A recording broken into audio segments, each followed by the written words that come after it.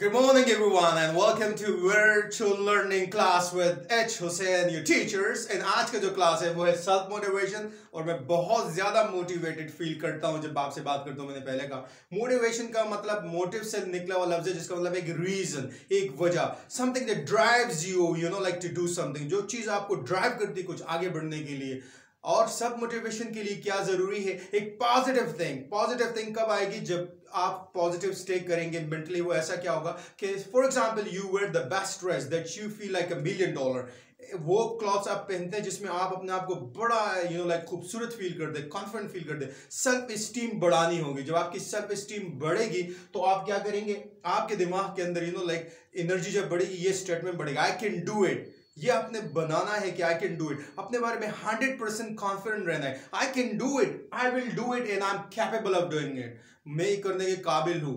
तो इससे के लिए ज़रूरी है कि आप क्या करें? ये एनर्जी आएगी का कहाँ से? If you look what you have if you look what you have you have everything अगर आप देखें कि ज़िंदगी में आपके पास क्या है तो आपके पास सब कुछ है.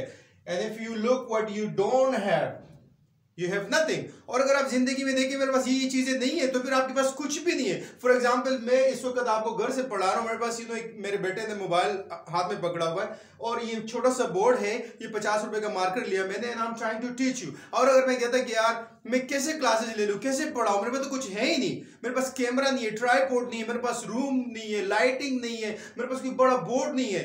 अगर मैं ये रीजंस बनाता बहुत सारे वजूहत कि मैं काम नहीं कर सकता तो कभी भी नहीं कर पाता। लेकिन मैंने कहा I can do it I will do it with a very available resources जो चीज़ें है, उसके अंदर करूँगा. लेकिन सेल्फ बिलीव है कि yes I can do it and I will do it that's why I am doing it self motivation is very important in your life अगर आपको ज़िंदगी में तरक्की करनी है तो अपने आप पे हंड्रेड परसेंट भरोसा रखना होगा। और अपने जो मोटिव्स है यू नो लाइक कोई अपने आप के लिए टारगेट बनाने होंगे कि ये काम मुझे करना है, ये करना है, और प्लान बी नहीं बनाना कि मैं नहीं कर सकता। आई कैन डू एवरीथिंग आपका स्टेटमेंट होना चाहिए। एक मशहूर आदमी ने कहा था if you think you can do it and if you think you can't you are right अगर आप समझते हैं कि आप ये काम कर सकते हैं, और अगर आप समझते हैं कि काम आप नहीं कर सकते तो आप दोनों में राइट है। अब दोनों में राइट कैसे हो सकता है? जब आपने कहा आई कैन डू इट आपका हंड्रेड परसेंट माइंड काम कर रहा है।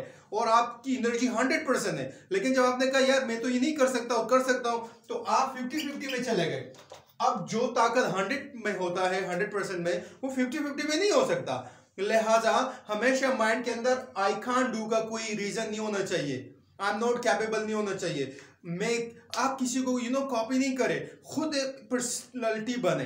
अपने आप को पर्सनैलिटी बनाने के लिए you have to work on yourself you have to work on yourself you have to improve yourself your your you know like social relationship. You have to improve that and you have to improve your personality. Personality development pe kaam karna thank you so much. And see you tomorrow inshallah in next class